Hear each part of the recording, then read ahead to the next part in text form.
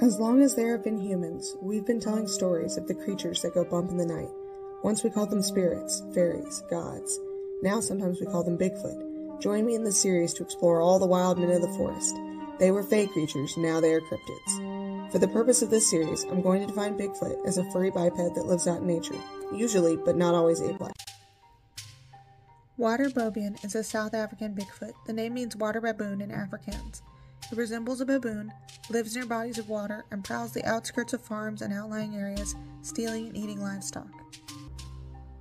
Until next time, Fae folks, stay safe. You never know what may lurk in the woods.